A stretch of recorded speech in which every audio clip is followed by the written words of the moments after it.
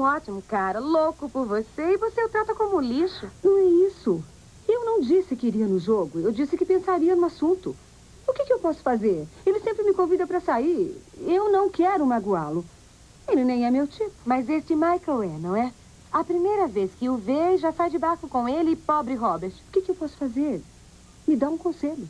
Seja honesta. Fantástico. Parece bom demais para ser verdade. Eu sei. E o que ele ganha com isso? É ele quem arruma tudo? Bom, normalmente ele não mexe um dedo até receber a taxa de consultoria. Eu disse que não podia pagar e ele disse que esperaria e pediria uma porcentagem da companhia. Que tipo de porcentagem? Ah, Não falamos de detalhes nesta reunião. E tem mais uma coisa.